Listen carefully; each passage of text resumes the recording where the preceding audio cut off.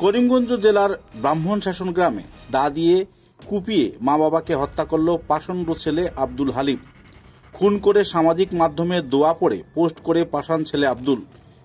রবিবার বিকালে হঠাৎ করে ঘরে প্রবেশ করে মা বদরুন্নেসা বাবা আব্দুল সালামের উপর ধারালো দা দিয়ে পরপর কয়েকটি কোপ বসায় এবং ঘটনাস্থলেই মাতা পিতা প্রাণ হারান। হত্যা করে রক্তাক্ত দা নিয়ে সাইকেল করে ঘর থেকে পালিয়ে নিজের ফেসবুক ও অ্যাকাউন্টে দুয়া পড়া একটি ভিডিও পোস্ট করে হালিম।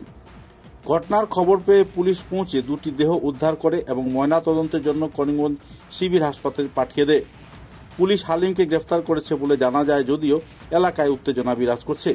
এদিকে কেন হালিম তার মা বাবাকে নৃশংসভাবে হত্যা করল তার কারণ এখনও জানা যায়নি। পুলিশ তদন্তে বেরিয়ে আসবে মূল রহস্য। এই ঘটনায় এলাকা জুড়ে চাঞ্চল্যের সৃষ্টি হয়েছে এবং এই ঘটনাকে কেন্দ্র করে এলাকার নাগরিকদের মধ্যে বিরূপ প্রতিক্রিয়া পরিলক্ষিত হচ্ছে।